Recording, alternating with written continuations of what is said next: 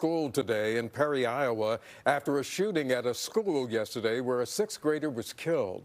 Police say a 17 year old student walked into his school yesterday morning and shot six people before the classes even began.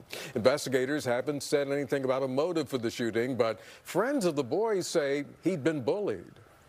I've been going to that school my entire life, and those kids would do horrible things to him. He got tired of the harassment. Was it a smart idea to shoot up the school? No. God, no. And I, I am mad at him for that. Lord knows I am mad at him for that. Now, four of the injured people are students. The fifth is the principal of the school.